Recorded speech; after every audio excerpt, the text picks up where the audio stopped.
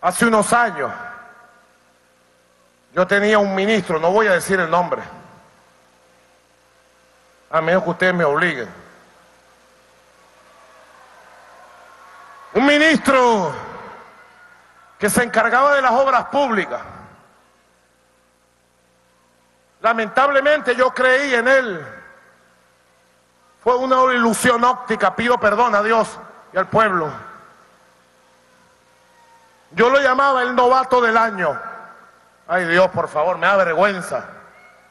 Cuando pienso en esto me avergüenzo conmigo mismo. Yo lo nombraba, nombraba el novato del año. Y él me decía, no, aeropuerto y el otro. Me hizo inaugurar un conjunto de obras falsas.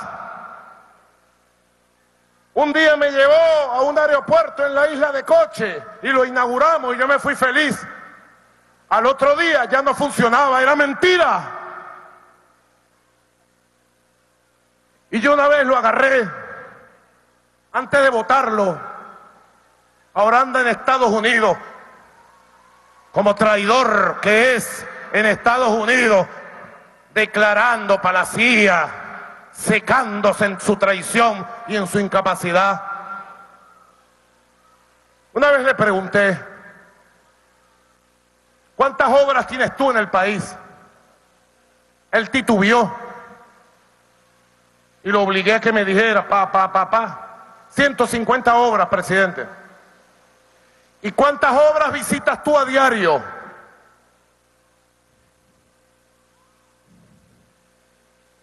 ¿Y cuántas obras visitas tú semanalmente? Presidente.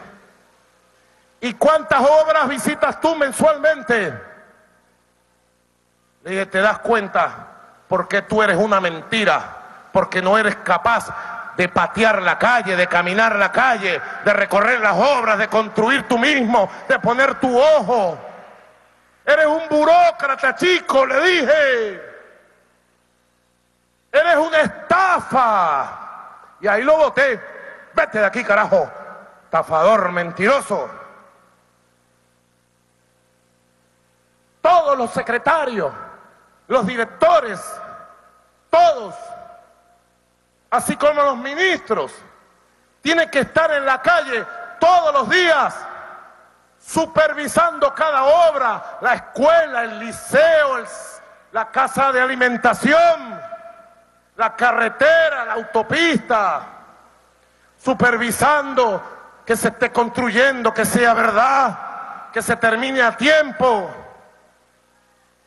Exige, Héctor, exige con mucha fuerza y todo el que asuma una responsabilidad en este nuevo gobierno de Miranda debe asumirla bajo un compromiso total con el pueblo para cumplirla al pueblo. Hemos llegado para cumplirla al pueblo. Hemos llegado para gobernar para el pueblo. Y no podemos fallar